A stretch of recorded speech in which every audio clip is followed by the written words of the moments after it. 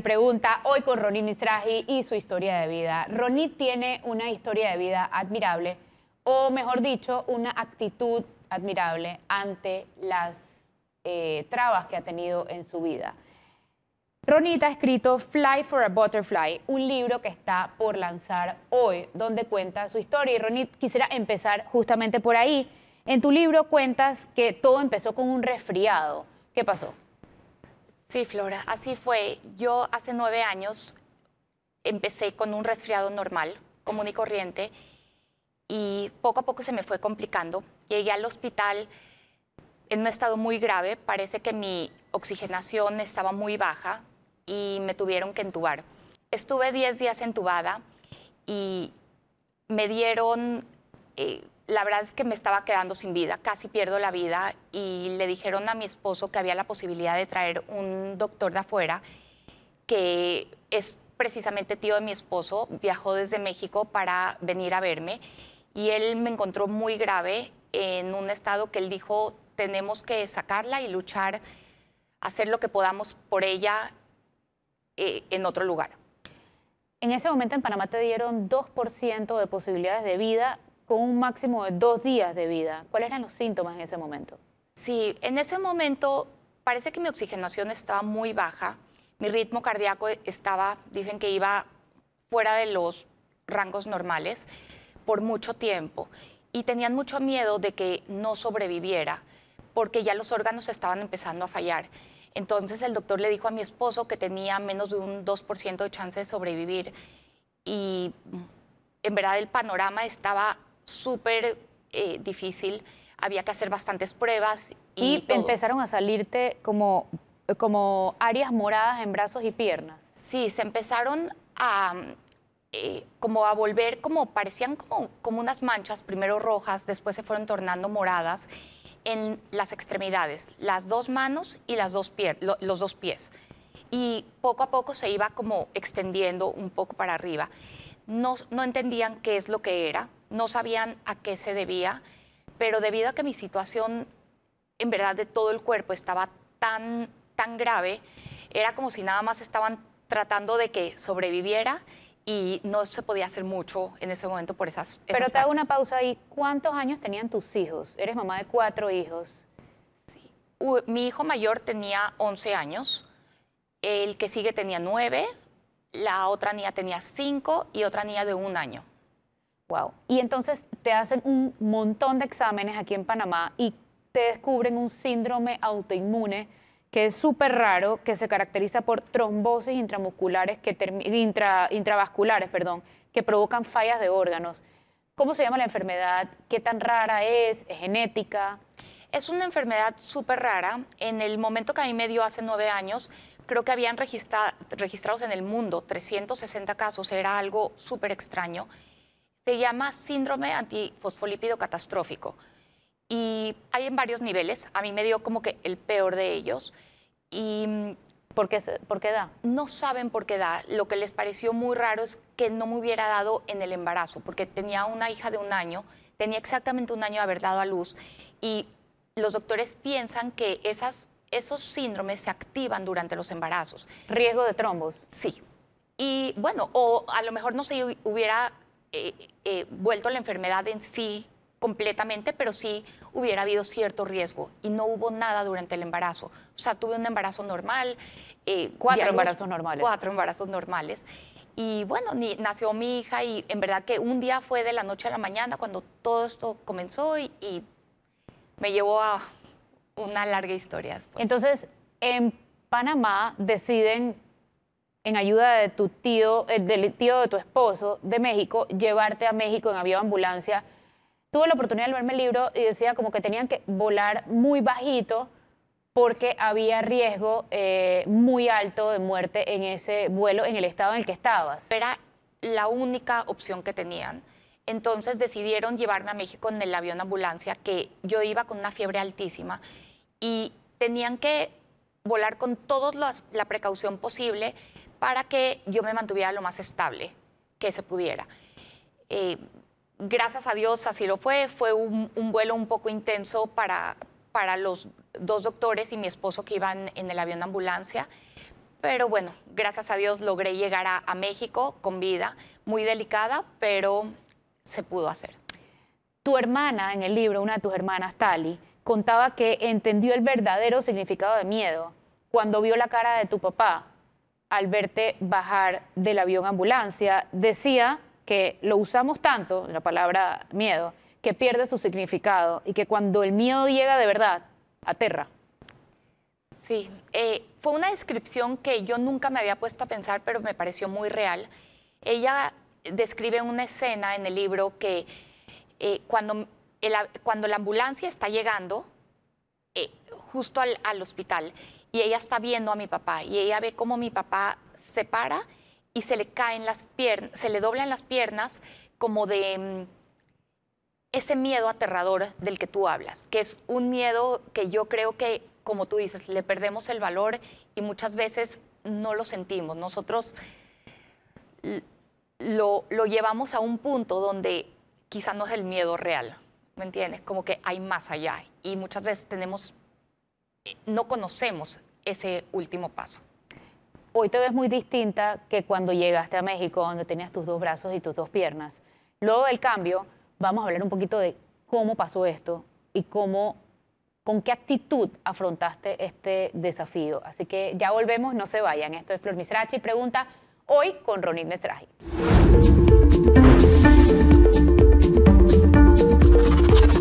Vuelta en Flor Misrachi pregunta hoy con Ronit Mesraji. Ronit, en el libro leía que no estabas consciente, estabas en coma, pero sí recuerdas ciertas cosas en ese momento. Hay momentos donde recuerdas que te dolía, otras que querías hablar, otras veces que sí se te salían las lágrimas cuando veías, por ejemplo, a tu mamá. ¿Qué recuerdas? Bueno, son eh, como recuerdos no claros, obviamente, porque estaba en coma. Muchas veces los doctores o la gente se cuestiona si la gente escucha realmente o no pero en mi experiencia, lo que yo viví, la verdad es que sí uno se acuerda. Recuerdo mucho eh, cómo mi esposo me hablaba, cómo mi mamá llorando me pedía que despierte. Me acuerdo cómo mi hermana me decía que ella estaba con mis hijos, que estuviera tranquila, que me recuperara. Y oía, pienso que el oído se vuelve selectivo. Uno escucha a las personas que uno quiere escuchar. Escuché, escuchaba muchos doctores, escuchaba ruidos, pero no me acuerdo de lo que ellos me decían. Solo me acuerdo como, por ejemplo, de, mi, mi, esposo, cómo me hablaba, de mi mamá, esa necesidad que ellos tenían de que yo abriera los ojos y estuviera con ellos. En estos días que estuviste en coma, ¿fueron cuántos? ¿30? Sí. Ahí empezaron las amputaciones. ¿Cómo fue ese proceso? La primera amputación fue de la mano derecha. Eh, era lo que peor estaba. Y ahí aprovecharon para investigar un poquito el pie izquierdo, que también estaba muy mal, y dijeron, es algo que tenemos que hacerlo. Es algo que tenemos que, que hacer lo antes posible para que no se siga corriendo eh, eh, más la enfermedad del síndrome. Entonces, primero amputaron la mano derecha, fue un poquito difícil la aceptación. Yo estaba dormida, yo no me acuerdo, pero no sentí dolor, me sentía inquieta, sentía que algo le estaba pasando a mi cuerpo que estaba viviendo algo médico, más no era dolor per se.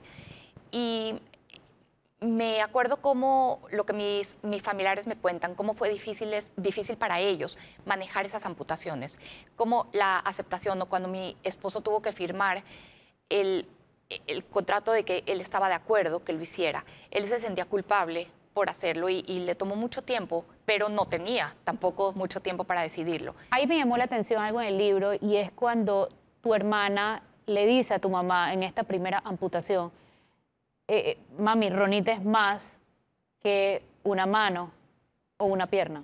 Sí, así fue. Eh, ellas me contaron después y me dijo eh, tal cual el diálogo que tuvieron.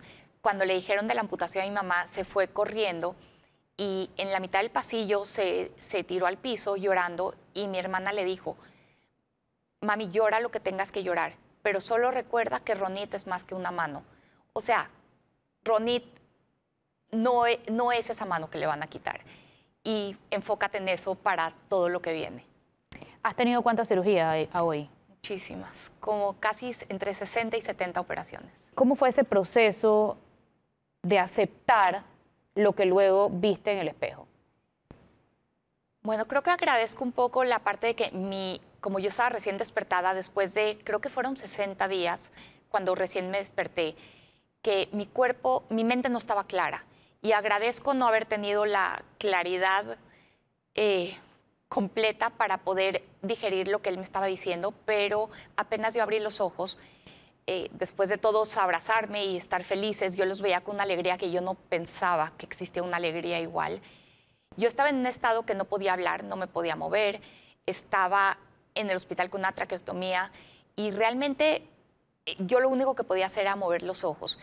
Y mi esposo vino y me, contó, me dijo, mira, Ronit, estuviste muy grave, estuviste a punto de perder la vida, pero para poderte salvar tuvieron que hacerte ciertas cosas médicas. Y poco a poco me fue contando, poco a poco en un día, y me fue contando y me dijo, Ronit, para poderte salvar te tuvieron que cortar la mano derecha y el pie izquierdo. El pie derecho no está bien y la mano izquierda va a quedar pero no completa. Y cuando apenas, cuando me dijo él eso, mi primera reacción, tragué profundo y dije, pero estoy con vida. Estoy viva, estoy acá. Ya veré cómo después enfrento lo que viene y cada vez te han ido eh, teniendo que operar nuevamente porque se va corriendo el síndrome? No, el síndrome lo pararon justo cuando fueron las operaciones. Pero, o sea, cuando fueron las amputaciones, ellos ahí se paró el síndrome.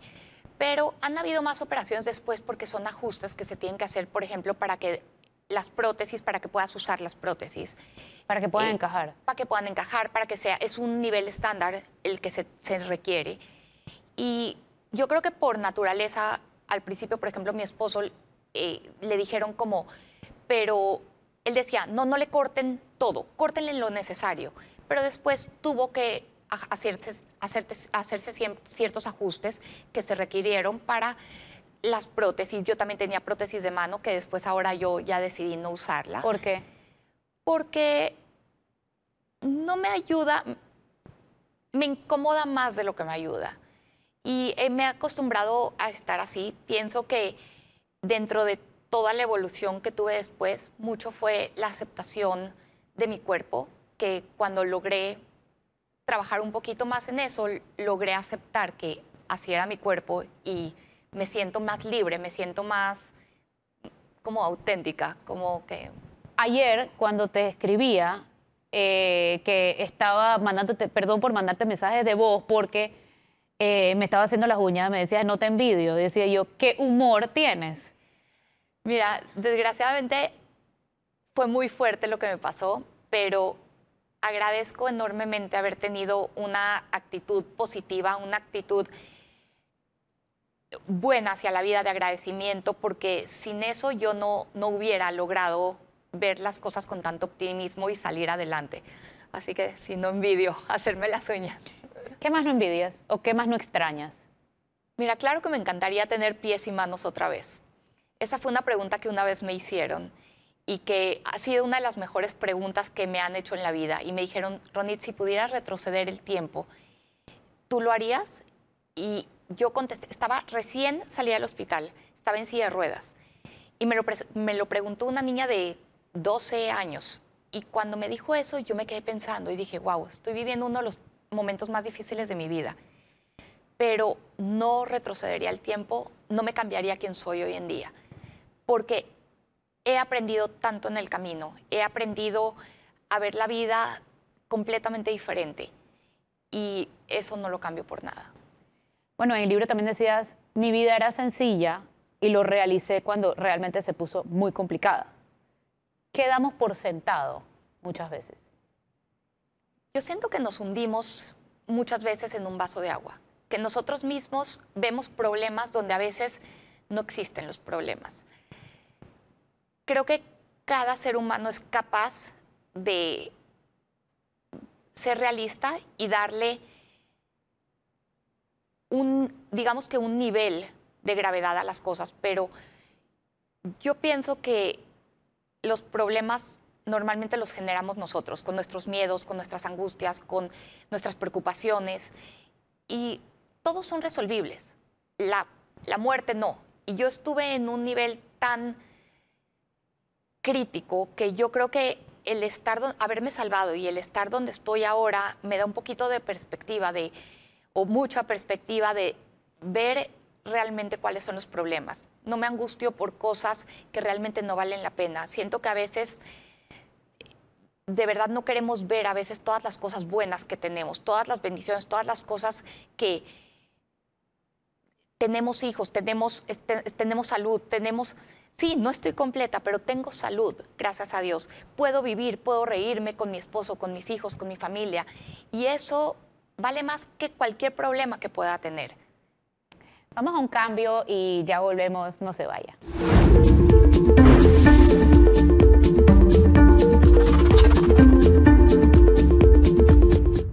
Ya de vuelta en Flor Misrachi pregunta, hoy con la historia de vida de Ronit Misrachi. Ronit, después de levantarte del coma, eh, te tocó aprender nuevamente a respirar, literalmente, y a hablar y a comer, porque la traqueotomía te, te cortó esas e, esos conocimientos, esas posibilidades.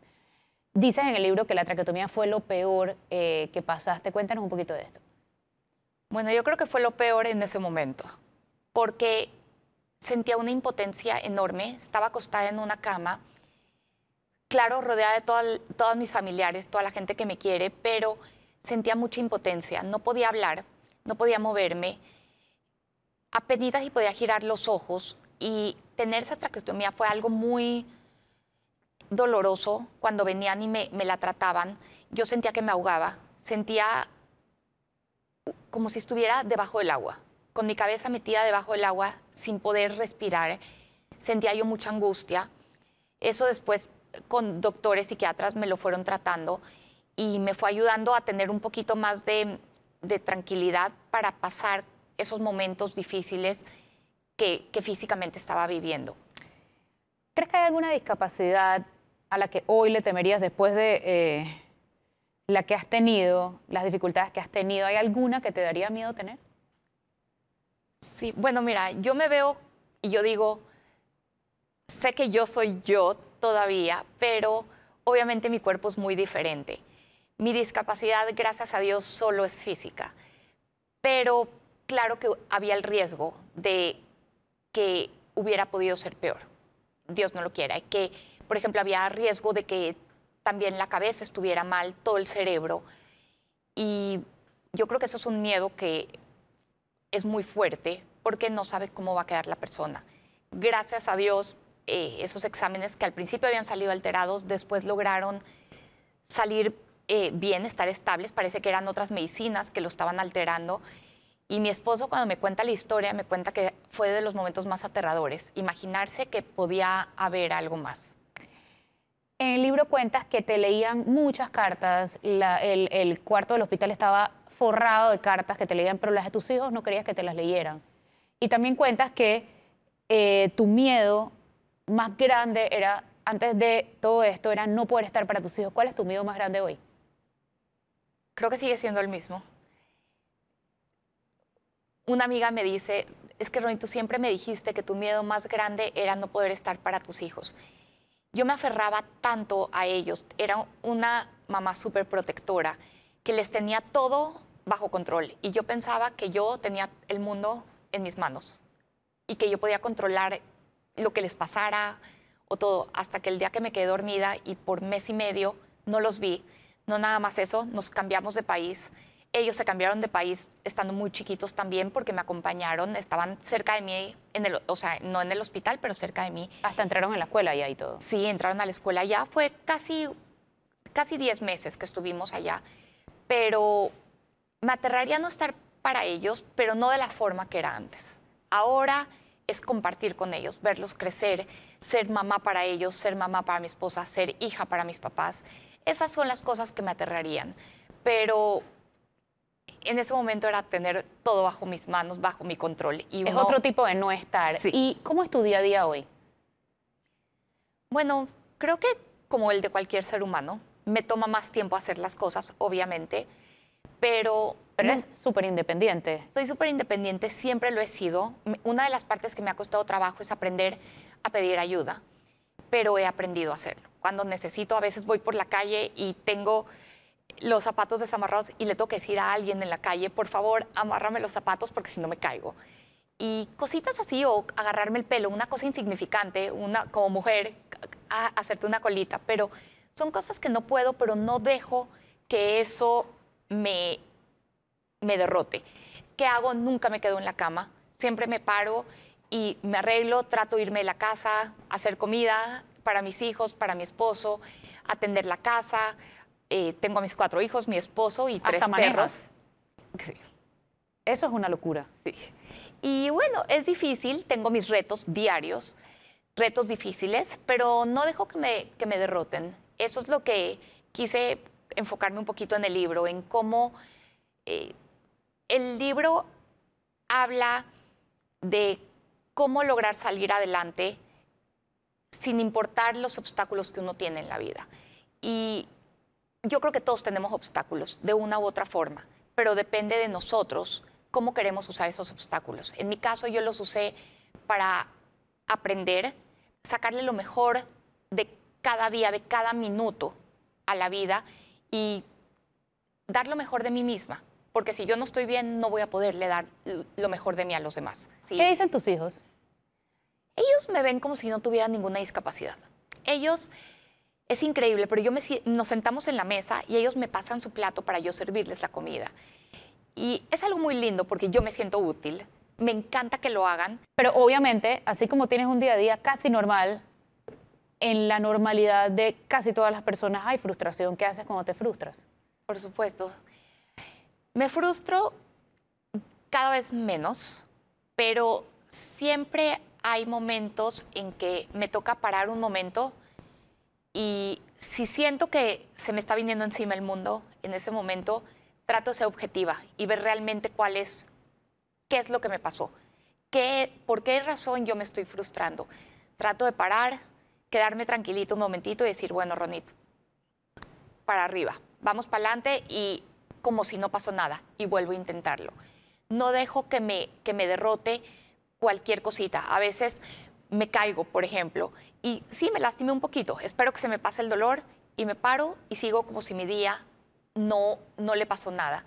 Porque no puedo yo permitirme, ya de por sí es bastante difícil mi día, como para yo darme lujo de permitirme estar frustrada o estar triste o estar, digamos que, descompuesta en general. O sea, tratas de no darte duro porque ya la vida te está dando lo suficientemente duro. Exactamente. Y por último, tu consejo a quienes hoy pasan por un momento difícil o una época oscura o, o nublada de su vida. Yo les diría que no se den por vencidos, que la vida es mucho más de lo que uno es capaz de ver. Yo pienso que con fe, con amor, uno puede ver muchísimo más allá de lo que los ojos de uno a veces quieren ver. Y que si uno realmente agradece por lo que tiene y ve las cosas buenas en vez de enfocarse en las malas, es mucho más fácil enfrentar la vida. Y bueno, ese es mi, mi mayor consejo porque pienso que con una buena actitud uno puede enfrentar lo que sea. Gracias, Ronit, por acompañarnos hoy. Gracias, Gracias. a ustedes por acompañarnos hoy. Que tengan excelente domingo.